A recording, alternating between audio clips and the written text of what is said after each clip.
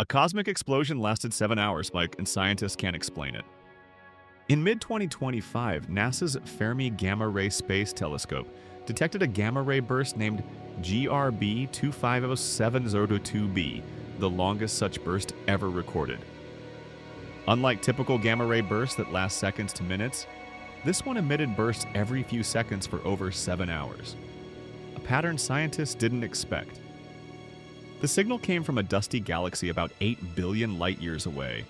So much material that visible light couldn't get through and only infrared and high energy wavelengths were detectable.